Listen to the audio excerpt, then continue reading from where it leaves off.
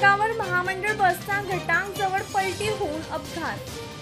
Air pipe फाटल्यामुळे झाली घटना घटनेत कोणतीही जीवितहानी नाही.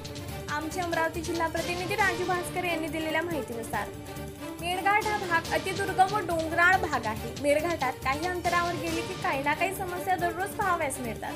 परंतु समस्या काही कमी होताना दिसत नाही काही दिवसांपूर्वी मेळघाटात भंगार बसेसचा संचार या मतळ्याखाली वर्तमानपत्रात बातमी झळकली होती. परंतु महामंडळ विभागाने बातमीची गंभीर दखल घेतली नाही असे या घटनेमुळे निदर्शनास आले आहे.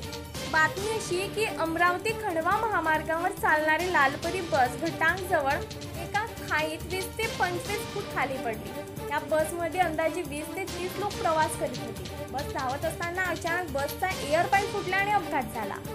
अपघात एवढा भयानक होता की लालपरी बस वीस ते पंचवीस फूट खाली एका खाईत जाऊन पडली. मेळघाट येथे असे अनेक घटना घडत असतात परंतु महामंडळ विभागाने मेळघाटातील जनतेला वाऱ्यावर सोडले की काय?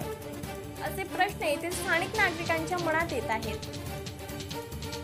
वारंवार अशा घटना मेळघाटात होणे चिंतेची बाब आहे. याकडे महामंडळ प्रशासनाने लक्ष देणे गरजेचे आहे. या घटनेत जीवितहानी झाली असते तर याला जबाबदार कोण?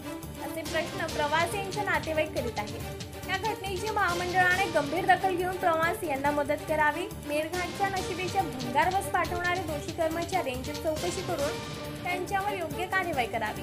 घटनेची माहिती मिळताच चिखलदरा पोलीस घटनास्थळी दाखल झाले. बसमध्ये अडकलेल्या लोकांना बसमधून बाहेर काढून सर्व जखमींना नजीकच्या दवाखान्यात उपचारासाठी दाखल केले.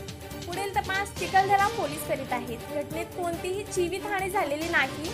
मेळघाटात भंगार बसेस पाठवणारे महामंडळ अधिकारी कर्मचारी आता तरी आपल्या लक्षात असू द्या की मेळघाटात सुद्धा माणसं राहतात जनावरे नाहीत. या घटनेनंतर मेळघाटातील स्थानिक नागरिकांचा टाहू महामंडळाने मेळघाटात भंगार बस पाठवणे बंद केले नाही. तर येत्या काळात मोठे चक्काजाम आंदोलन मेळघाटातील जनता करणार आहे.